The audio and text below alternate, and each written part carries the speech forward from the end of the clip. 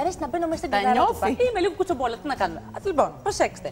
Θα μιλήσουμε τώρα για διάσημες απιστίες. Και όταν λέμε διάσημες απιστίες, ποια είναι η πρώτη που σας έρχεται στο μυαλό; Να πω. Χολιγουδιανή στάρ, ναι. Ε, Brad Pitt, Jennifer Aniston Ακριβώς. και Angelina Jolie. Εμένα λοιπόν μου έρχεται και μια πιο πρόσφατη. Ναι, για πες. Η Heidi Klum που άφησε τον Σιλ για το σωματοφύλακά της. Αυτό πάλι. Αυτό τέλειο, αυτό είναι το πιο ωραίο. Και τον άφησε για το σωματοφύλακα τώρα. Τέλος πάντων. Στο Σιλ τον έχεις δει πώς είναι; Εμένα μου αρέσει ο Σιλ. Τον αφήνεις για το σωματοφύλακα, δεν είναι; Εμένα μου αρέσει πάρα πολύ ο Σιλ. Σ' αρέσει ο Όχι, Σιλ; Έχει κάτι, παιδιά. Να το κοιτάξεις, τι έχει; Παιδιά και εμένα, είχε κάτι ιδιαίτερο. Ότι να ξυπνήσεις τη νύχτα και να δεις το Σιλ δίπλα. Εντάξει, τον φωτίζεις. Φωνάζεις το σωματοφύλακα.